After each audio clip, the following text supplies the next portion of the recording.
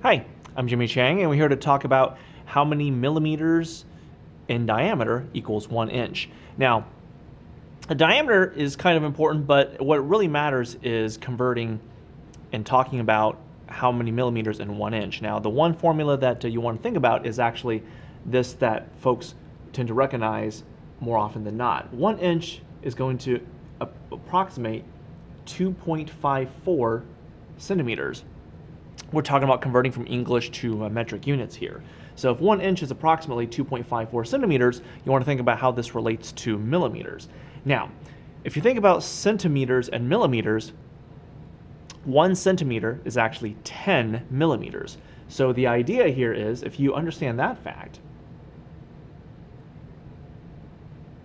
what you can do is take the one inch approximately equal to 2.54 centimeters, and then simply multiply this by 10. So the idea here is using this logic, you have one inch is approximately equal to 25.4 millimeters. You can multiply by 10, you could shift the decimal over one place, but either way, this will be what you're looking for. So I'm Jimmy Chang, and that's how many millimeters equals one inch in diameter.